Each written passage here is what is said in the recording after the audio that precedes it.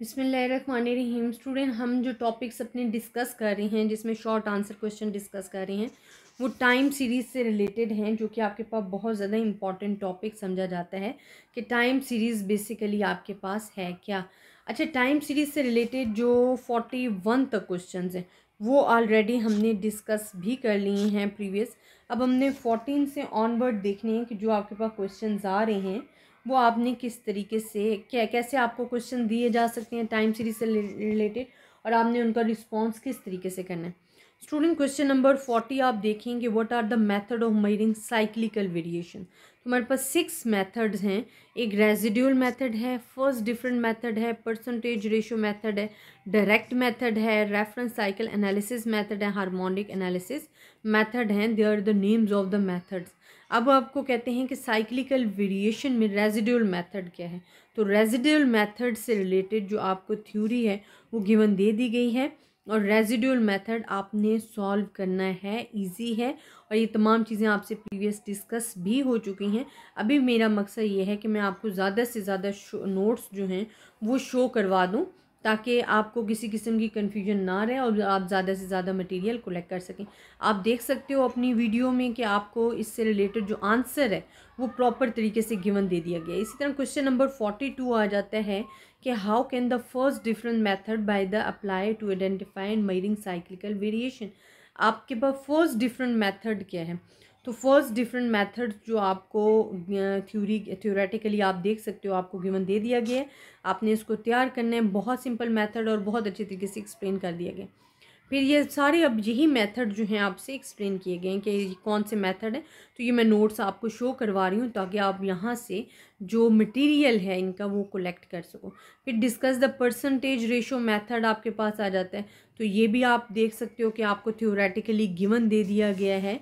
ये आपने क्या करना है कि this method is applicable for the yearly data only तो ये आपको इसका प्रोसीजर्स भी बता दिया गया है, साथ में थ्योरी भी, क्योंकि थ्योरी में आता ही इसका प्रोसीजर है, आपने जो भी मेथड डिस्कस कर रहे हो, अगर आप उसका अच्छे तरीके से प्रोसीजर लिख देते हो तो आपकी थ्योरी कंप्लीट हो जाती है। इसी तरह आपके पास नेक्स्ट आ जाता है डायरेक्ट मेथड क्या है? तो डायरेक्ट मेथड की भी थ्योरी आपको गिवन और इसका मेथड आपको दे दिया गया इसी तरह आपके पास आ जाता है कि cyclical variations measurement of cyclical variations क्या होती हैं?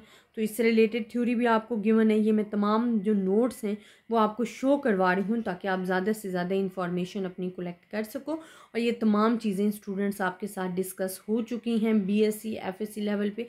तभी मैं अगेन अगेन रिपीट नहीं करवा रही, बल्कि मैं आपको सिर्फ़ और सिर्फ़ नोट्स शो करवा रही हूँ कि आप यहाँ से इंपॉर्टेंट डेटा आप कलेक्ट कर सकते हो। और आपको अंदाज़ा हो जाएगा कि आपसे शॉर्ट आंसर क्वेश्चन किस मेथड में पूछे जाते हैं और आपने किस तरीके से उनका रिस्पॉन्स देना है।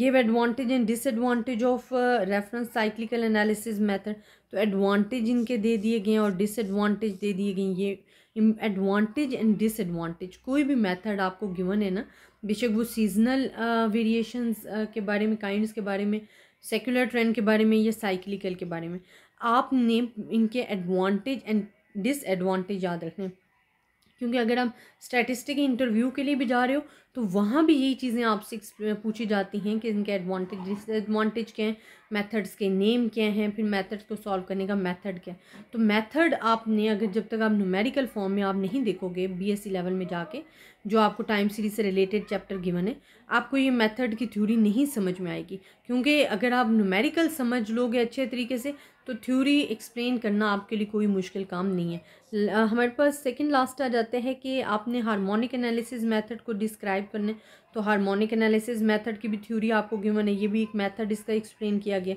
एंड लास्ट वन कि how can the irregular influence the measured influences भी मैयर्ड तो इन्फ्लुएंसेस भी मैयर्ड आपको दे दिए गए। ये आपने नोट डाउन करने हैं और ये आपके पास जो नोट्स हैं इंपॉर्टेंट हैं, इसको ज़्यादा से ज़्यादा शेयर भी कीजिएगा और ख़ुद भी आपने नोट करने। अगर फिर भी आपको किसी किस्म की प्रॉब्लम होती है, पहले तो आपको मैंने कहा है कि जो बीएससी लेवल के लिए, टाइम सीरीज़ का चैप्टर है एफ़ के लिए करवाया गया, आपने वो देखना है। अगर फिर भी ना समझ आए तो आप मुझे कमेंट्स में बताइएगा, मैं इंशाल्लाह आपकी कन्फ्यूज़न को दूर करने की कोशिश करूँगी। अपनी दुआओं में याद रखिएगा, अल्लाह हाफिज़।